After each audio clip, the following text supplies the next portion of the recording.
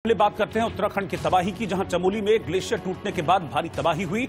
पानी तेज रफ्तार से आगे बढ़ा और धौलीगंगा नदी में शोर करता हुआ बेहद तेज़ी से मलबे के साथ आगे बढ़ने लगा। तस्वीरें आप देखते रहिए। सुबह करीब 10 बजे देवभूमि पर कुदरत का यह कहर टूटा और इसके बाद जो मंजर सामने आया, वो बेहद डरावना था। पूरी ताकत से आगे बढ़ता हुआ पानी सब कुछ डुबो देने पर आमादा था। इस जल प्रलय में चमोली के तपोवन में ऋषिगंगा पावर प्रोजेक्ट तबाह हो गया। बताया जा रहा है कि 100 से ज़्यादा लोग इस जल प्रलय में बह गए हैं। खतरा इस बात का था कि तेज़ी से बढ़ता हुआ ये जल प्रलय निचले इलाकों पर, तराई वाले इलाकों पर भी कहर बनकर टूट सकता है। लेकिन राहत की बात यह रही कि बाद में पानी का बहाव थम गया। सरकार और प्रशासन ने बेहद तेज गति से काम किया जिसके चलते ऋषिकेश और हरिद्वार पर जो तराई वाले इलाके हैं वहाँ पर जो खतरा मंडरा रहा था वो खतरा फ़िलहाल टल गया है। लेकिन इस बीच आपको बता दें कि आ, इस पावर प्रोजेक्ट में जो लोग काम कर रहे थे उनमें करीब 100 से 150 लोग ऐसे हैं जो लापता हैं जिनको अब ढूँढने की कोशिश की जा रही है। आप देख सकते हैं कि रेस्क्यू फोर्सेज मौके पर है और सुबह से ही रेस्क्यू फोर्सेज मौके पर मौजूद हैं और लगातार राहत और बचाव का काम कर रही हैं। इस बीच कई लोगों को बचाया भी गया है। आप देख सकते हैं उस वक्त क्या माहौल था? जब ये जल प्रलय आई थी सुबह करीब साढ़े नौ से दस बजे का समय था जब अचानक से ग्लेशियर टूटा और ग्लेशियर टूटने के बाद तपोवन बाँध पर आ, इसका दबाव पड़ा जिसके चलते बाँध टूट गया और जल प्रलय आ गई।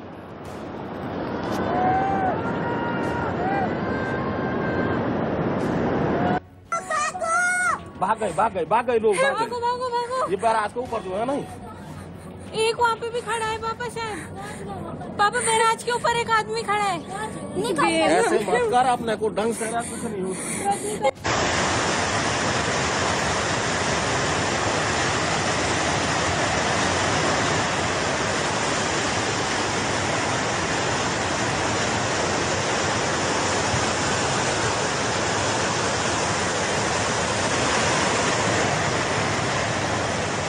तस्वीरें आप देख सकते हैं किस तरह से ग्लेशियर टूटने के बाद पानी का जोरदार बहाव था और इस बहाव की आवाज़ सुनकर यह अंदाज़ा लगाया जा सकता है कि क्या हाल इसने किया होगा उन इलाकों का, जहाँ पर शुरुआत में सबसे पहले इसका कहर देखा गया। इसकी शुरुआत सुबह करीब साढ़े नौ से दस बजे के बीच में हुई, जब ग्लेशियर टूटने की वजह से। ये रैणी गाँव है, चमोली ज़िले के चमोली जिला है, वहाँ का रैणी गाँव है, जहाँ पर ये हादसा हुआ है। वहीं पर ग्लेशियर टूटने की वजह से बाँध टूटा और बाँध का जो सारा पानी था, वो बहुत तेज़ी से बहने लगा। इस दौरान आसपास का जो मलबा था, वो भी इस बाढ़ के पानी के साथ हो लिया। इसके चलते सबसे ज़्यादा नुकसान ऋषि गंगा पावर प्रोजेक्ट को हुआ है। इसका एक हिस्सा पूरी तरह से तबाह हो गया। इस पावर प्रोजेक्ट में जो लोग काम कर रहे थे, उनमें करीब 100 से 150 लोग अभी भी लापता बताए जा रहे हैं, जिनको ढूँढने के लिए प्रयास किया जा रहा है। अलग अलग टीमें हैं। हालाँकि जैसे ही यह हादसा हुआ, इसके बाद फ़ौरन रेस्क्यू टीमें सतर्क हुई और फटाफट उन्हें मौके पर भेजा गया, जिसके बाद रेस्क्यू टीमों ने राहत और बचाव कार्य शुरू किया, जिसके बाद एक राहत की बात यह रही कि करीब 16 लोग जो यहाँ पर इस पावर प्रोजेक्ट में, ऋषिगंगा पावर प्रोजेक्ट में काम कर रहे थे वो फंस गए थे तपोवन टनल में, उन्हें निकाला गया है। सुबह से रेस्क्यू ऑपरेशन चलाए जाने के बाद शाम के वक्त ये कामयाबी हासिल हुई। इस दौरान लगातार आईटीबीपी के जवान डटे रहे और 16 लोगों को 16 जिंदगियों को बचा लिया गया। लेकिन तस्वीरें आप देख सकते हैं किस तरह की ज़बरदस्त आपदा है। इस आपदा ने 2013 में केदारनाथ में जो आपदा आई थी, उस आपदा को वापस याद दिला दिया। लेकिन एक राहत की बात यह है कि जितना भयंकर परिणाम 2013 में हुआ था केदारनाथ की आपदा के बाद।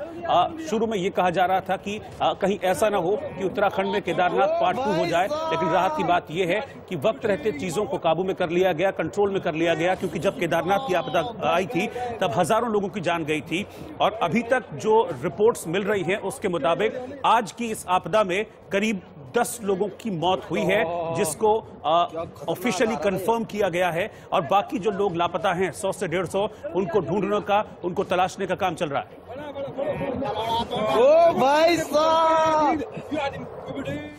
तो जैसे ही ये ग्लेशियर टूटा, पानी का सैलाब नीचे की ओर बढ़ने लगा। आनंद पानन में रेस्क्यू ऑपरेशन शुरू किया गया। तपोवन में बने पावर प्रोजेक्ट के तबाह होने के साथ ही कई लोग जो वहाँ काम कर रहे थे, वो सुरंग में अंदर ही फंस गए थे, क्योंकि पानी के साथ आए मलबे से सुरंग बंद हो गई थी। इनके बाहर निकलने का कोई भी रास्ता नहीं था, लेकिन आईटीबीपी के जवानों ने फ़ौरन रेस्क्यू ऑपरेशन वहाँ पर शुरू किया। यहाँ सलाम करना होगा आईटीबीपी के इन जवानों को, जिन्होंने बिना वक्त गवाए, बिना देर किए इस रेस्क्यू ऑपरेशन की शुरुआत की और इस रेस्क्यू ऑपरेशन में उन्हें कामयाबी भी हासिल हुई। 16 लोगों को सुरंग से बाहर निकाल लिया गया। उस युवक की तस्वीरें आप अपने टेलीविज़न स्क्रीन पर देख पा रहे हैं। आप देख सकते हैं कि पहली तस्वीर ये बता रही है कि सुरंग में जो लोग फंसे हुए थे, कैसे उन्हें एक एक कर जी तोड़ मेहनत कर आईटीबीपी के जवानों ने बाहर निकाला। जब ज़िंदगी की कोई भी उम्मीद नहीं थी, हर तरफ़ अंधेरा ही अंधेरा नज़र आ रहा था। लेकिन उसके बाद आईटीबीपी के जवान उन 16 लोगों के लिए देवदूत बनकर पहुँचे, जो घंटों इस सुरंग में फंसे रहे थे। और फिर कड़ी मेहनत और मशक्कत के बाद इन 16 लोगों को सुरक्षित बाहर निकाल लिया गया। और आप जेस्चर भी देख सकते हैं हम तस्वीरें भी दिखा रहे हैं जैसे जैसे लोग बाहर निकलते गए ठीक उसी तरह आ, का एक एक राहत थी उनके चेहरे पर जैसे अंधेरे में से ज़िंदगी को ढूंढ कर लाने की एक राहत होती है ठीक वैसी ही राहत इन लोगों के चेहरे पर महसूस की गई। इसके फ़ौरन बाद जैसे लोगों को अंदर टनल से बाहर निकाला गया इन्हें ऑक्सीजन दिया गया क्योंकि काफ़ी देर तक ये अंदर फंसे हुए थे। इन्हें फ़ौरन मेडिकल ट्रीटमेंट दिया गया ऑक्सीजन दिया गया और फिर इन लोगों को अस्पताल ले जाया गया। और आपदा को लेकर इस वक्त की एक बड़ी खबर आपको हम बता रहे हैं। केंद्र सरकार ने उत्तराखंड में नेवी के गोताखोरों को भी भेज दिया है, जिससे कि रेस्क्यू ऑपरेशन और बेहतर तरीके से चल सके। जैसा कि मैं लगातार आपको बता रहा हूँ कि अभी भी करीब 100 से 150 लोग ऐसे हैं जो लापता हैं, और यह कहा जा रहा था सुबह कि तेज बहाव में वो बह गए हैं नदी के साथ। तो ऐसे में गोताखोरों की भूमिका बहुत ज़्यादा अहम हो जाती है। इसीलिए नेवी के जो गोताखोर होते हैं, बहुत स्पेशलाइज्ड ये गोताखोर होते हैं, और इनको बेहद तेज बहाव में रेस्क्यू ऑपरेशन करने की बहुत खास ट्रेनिंग होती है। तो ऐसे ही नेवी के इन गोताखोरों को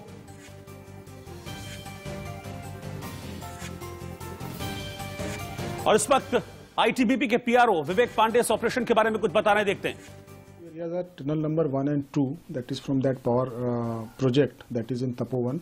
Uh, in one tunnel it was reported that 16 uh, laborers are trapped. Uh, after 4 hours of efforts the ITBP mountaineers and Jawans have rescued 12 people from the tunnel number 2. It was a 900 meter uh, long tunnel. And uh, uh, the snout of this tunnel was uh, you know uh, covered with the debris. So the snout was first of all we removed the debris and went inside. And one by one we have rescued 12 uh, men. Initially it was reported that 16 people have been trapped but there were 12 people and they said that there were only 12 people inside three were uh, uh, unconscious when we uh, took them out from the tunnel uh, right now, uh, three of them have been shifted to the hospital. We took them on the stretchers to the nearest roadhead.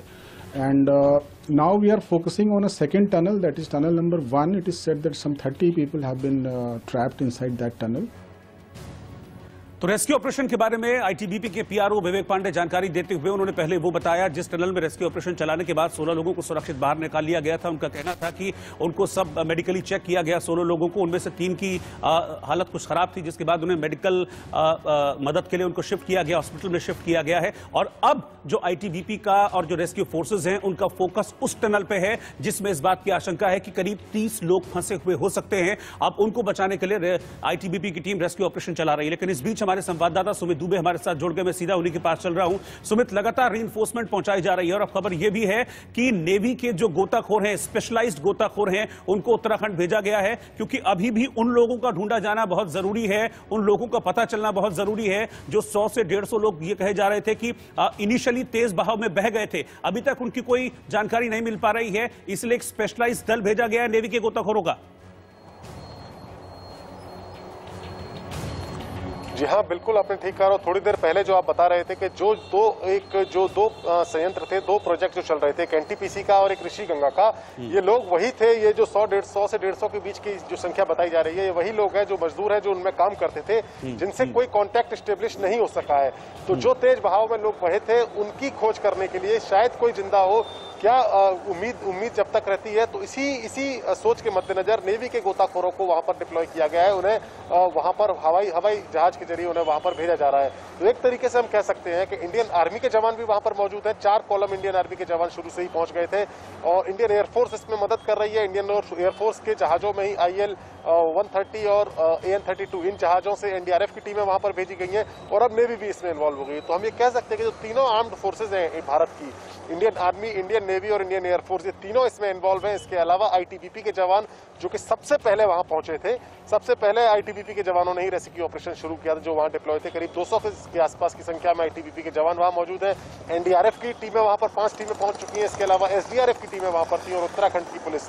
तो कुल मिलाकर इतनी जो जी- security forces हैं Indian armed forces हैं और India paramilitary forces हैं और जो डिजास्टर के लिए स्पेशलाइज्ड फोर्सेज हैं चाहे वो एनडीआरएफ हो या फिर एसडीआरएफ हो ये सभी जवान वहाँ पर मौजूद है और रेस्क्यू ऑपरेशन का हिस्सा बन रहे हैं। ठीक है सुमिता मेरे साथ बने रहिए मैं आपके पास वापस लौटता हूँ। इस बीच आपको बता दें कि उत्तराखंड के चमोली में ग्लेशियर टूटने के बाद जो तबाही मची उसमें कई जाने गई हैं। अब तक जो रिपोर्ट है उसमें 10 लोगों की जान चली गई। ग्लेशियर टूटने के बाद पानी इस रफ्तार से आगे बढ़ा कि तपोवन में बने डैम और डैम के पीछे बने घरों में मौजूद लोगों को समझ ही नहीं आया कि हो क्या गया। देखिए उस वक्त लोग कैसे रिएक्ट कर रहे थे।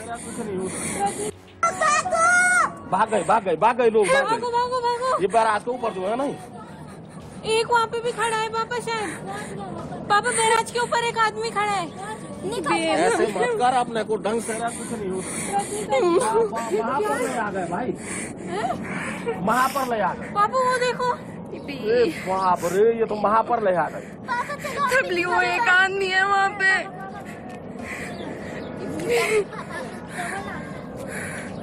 कल भी चलेगा वीडियो बना वीडियो बना। माँ कोई मरेगा वहाँ अरे कोई अब चुप रहो। अब चुप रहो। बहुत गए भाई बहुत गए यार। माँ ये कहाँ से आया? देखना ये कहाँ? के बाप रे बैराज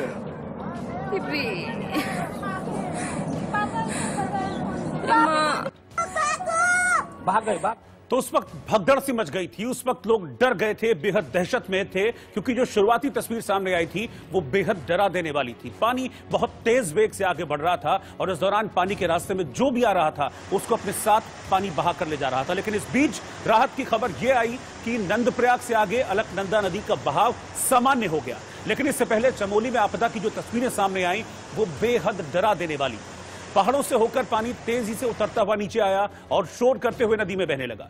तपोवन में बाँध को तोड़ने के साथ जल प्रलय ने पावर प्रोजेक्ट को नुकसान पहुँचाया और नदी और आसपास के इलाके जो नदी के थे, उनके लिए नदी का पानी, ये प्रलय का पानी पूरी तरह से खतरा बन गया था। इसी बीच एसडीआरएफ की टीम, आईटीबीपी की टीम, बीआरओ की टीम एनडीआरएफ की टीम, ये सब देवदूत बनकर आए। देखिए कैसे फ़ौरन उन लोगों ने रेस्क्यू ऑपरेशन चलाया और हर संभव मदद उन लोगों को पहुंचाई गई। फ़ौरन अलर्ट किया गया कि नदी के आसपास जो भी रहने वाले लोग हैं, क्योंकि पहाड़ों में अक्सर ऐसा होता है कि नदी के आसपास लोग घर बना लेते हैं तो उनको सबसे पहले कहा गया, उन तक मैसेज पहुँचाया गया कि आप फटाफट यहाँ से निकलिए क्योंकि ऊपर से पानी बहता हुआ आ रहा है। इस तरह से लगातार ऑपरेशन चलाया गया, कई लोगों की जान बचाई गई और इस बीच राहत की बात यह रही कि जिस तरह की पहले आशंका ज़ाहिर की जा रही थी कि अब पानी बहता हुआ ऋषिकेश और हरिद्वार तक न पहुँच जाए क्योंकि वहाँ बड़ी संख्या में आबादी रहती है तो एक बड़ा नुकसान हो सकता है। अगर बाढ़ वहाँ पर आती है तो जान माल की बड़ी हानि हो सकती है। लेकिन अलकनंदा तक आते आते यानी कि नंद प्रयाग तक आते आते पानी का बहाव कम हो गया था। और इस तरह का जो मंजर है, जो आप अपने टेलीविज़न स्क्रीन पर देख पा रहे हैं, इसे देखकर जो लोग थे, आसपास रहने वाले लोग थे नदी के, वो खौफ से, दहशत से भर गए, क्योंकि कई लोगों की जान दांव पर लगी हुई थी। पानी अचानक से आया था, लिहाजा संभलने का मौका किसी के पास नहीं था। अरे क्या अरे भागो मेरे को मेरे को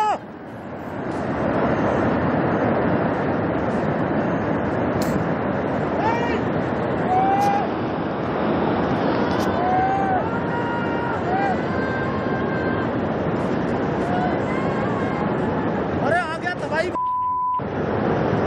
अरे संतरी कहाँ अपने संतरी वो नीचे भाग रहा है हुआ चला जाएगा वो। हाँ संतरी बात किया आप लोग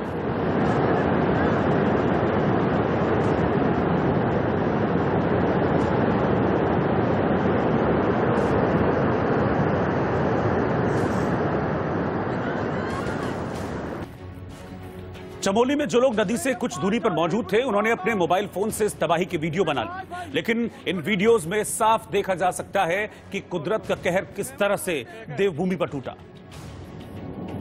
ये ये पार जाओ ये बड़ी माँ का अरे भाई भाई ये कौन फ़ोन कर यार भाई कौन ये कौन यार कर कर मैं मैं फ़ोन ही नहीं क्या वे यार ढूँगा काला वो छिटाना ये जो ये ये ये चा ये बेटा पार तो न गए उड़ गए।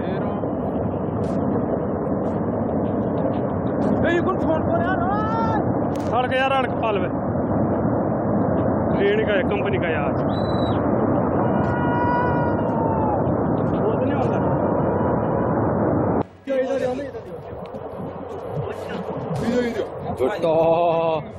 क्या खतरनाक आ रहा है ये? अरे जल्दी आ जल्दी आ जल्दी आ जल्दी आ।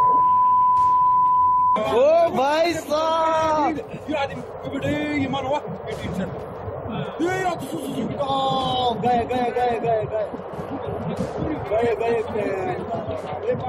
ऊपर तो।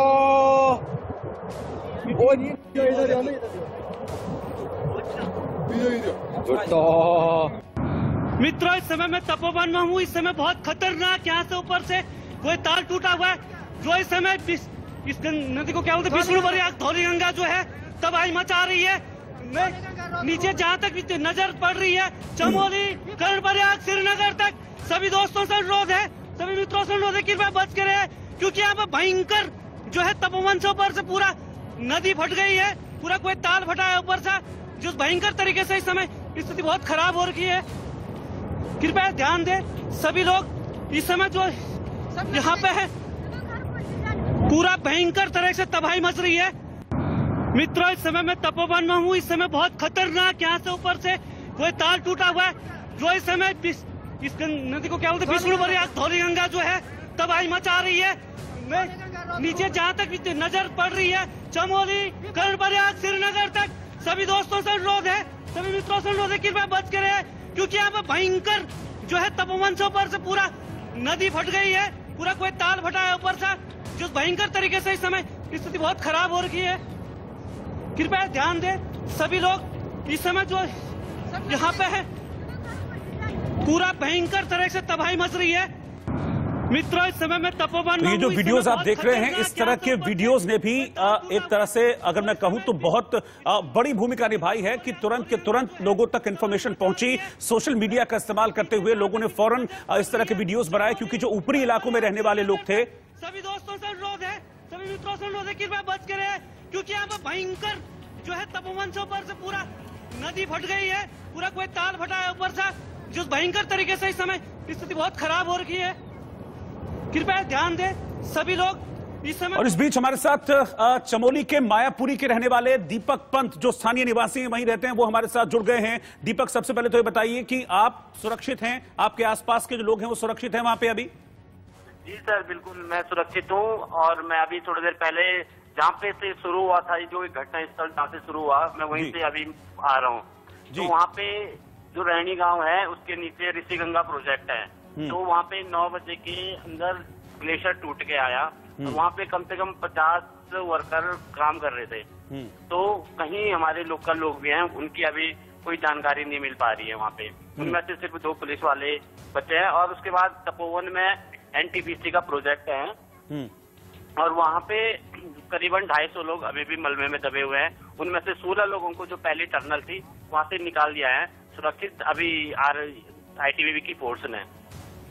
दीपक, अभी आप मुझे बता सकते हैं कि अभी वहाँ पर क्या स्थिति है? और जो पानी का बहाव जो हम देख रहे थे सुबह के वक्त तस्वीरों में, वो तो ऐसा था कि बस सब कुछ खत्म कर देगा, सब कुछ बहा कर ले जाएगा। अभी क्या जो स्थितियाँ हैं, परिस्थितियाँ हैं, वो आपको लग रहा है कि अभी ठीक है सुबह से? अभी कंट्रोल में है स्थिति?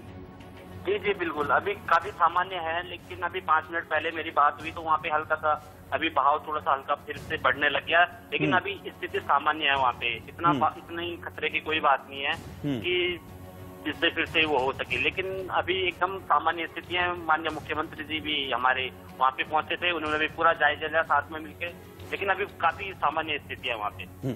दीपक क्योंकि आप आप वहाँ का- रहने वाले हैं और अभी वहाँ पर मौजूद हैं तो अभी किस तरह की जानकारियाँ वहाँ पर सामने आ रही हैं? क्योंकि ये पता चला था कि जो अब जब आपदा आई थी, शुरुआत हुई थी, तब जो पावर प्रोजेक्ट में लोग काम कर रहे थे, मजदूर काम कर रहे थे, उनमें बहुत से मजदूर बह गए हैं। आप लोगों के पास, क्योंकि आप लोकल हैं, कोई जानकारी है कि कितने उन मजदूरों की संख्या रही होगी? और उसके बारे में कोई इन्फॉर्मेशन अगर आप हमसे शेयर करें। जी सर बिल्कुल। ढाई सौ लोगों की अभी तक बताया जा रहा है ढाई सौ लोग हैं वहाँ पे। और जो पहले टर्नल में है वो सोलह लोग हैं वहाँ पे उनको निकाल दिया गया है। और जो दूसरी टर्नल में अभी भी पचास लोग फंसे हैं मलमा ज़्यादा होने के कारण उनको निकाल नहीं पाए हैं। लेकिन कुछ लोगों की अभी डेड बॉडी मिली है यहाँ पे चमोली में बिरही में। और काफ़ी लोग अभी भी अंदर ही दबे हुए करीबन ढाई सौ लोग अभी भी गायब है यहाँ पे। हम्म। अच्छा दीपक अभी वो कौन कौन सी जगह हैं जो इस आपदा की वजह से प्रभावित हुई हैं? मैं तो ऋषि गंगा का जो प्रो, ये, प्रो, प्रोजेक्ट है यहाँ पे रैनी गाँव वहाँ पे काफ़ी जन धन की हानि हुई। कई बकरी वाले भी वहाँ पे रहे हैं उसमें। उसके साथ वहाँ पे पुल भी पूरा क्षतिग्रस्त हो चुका है। और उसके बाद तपोवन में आते हैं। तपोवन में एनटीपीसी का पूरा टेंट कॉलोनी वो था वो पूरा गायब हो चुका है। उसमें करीबन ढाई सौ लोग निवास करते हैं जो वर्कर रहते हैं जो कर्मचारी वहाँ पे रहते हैं उनको काफ़ी नुकसान हुआ वहाँ पे। पूरा डैम वहाँ पे प्रभावित हुआ है। जो ये बाढ़ रोटी ये हेलंग डैम है एचसी का है यहाँ पे प्रोजेक्ट बन रहा। उससे पानी का स्तर थोड़ा कम हो गया थोड़ा जो उफान में नदी आ रही थी उससे काफ़ी रुकावट आई उससे हम्म। दीपक आप आ, आपने देखा वहाँ पर किस तरह से रेस्क्यू ऑपरेशन चल रहा था जो हमारे जवान हैं वो कैसे अपनी जान जोखिम में डालकर लोगों को बचाने का काम कर रहे हैं रेस्क्यू ऑपरेशन चला रहे हैं? जी बिल्कुल सर मैं वहीं से आ रहा हूँ। अभी मेरे पेज पे भी मैं लाइव चला वहाँ से। हमने भी लोगों को दिखाया है। लेकिन अभी हमारी पूरी आईटीबीपी की फोर्स पुलिस की फोर्स एनडीआरएफ की टीम पूरी एसडीआरएफ की टीम पूरी मेहनत से वहाँ पे काम कर रही है। अभी भी रेस्क्यू जा रही है वहाँ पे। हम्म।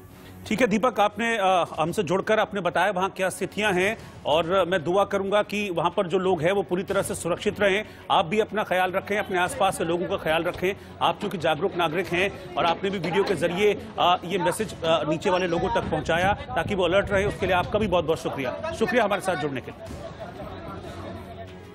एक छोटे से ब्रेक के लिए रुक रहे हैं। वापस लौट रहे हैं कुछ और तस्वीरों के साथ, कुछ और अपडेट्स के साथ, क्योंकि लगातार इस मामले से जुड़ी अपडेट सामने आ रही हैं। लगातार जो री है, प्रभावित इलाकों की तरफ़, आपदा प्रभावित इलाकों की तरफ़, वहाँ री भेजा जा रहा है सरकार की तरफ़ से। उसकी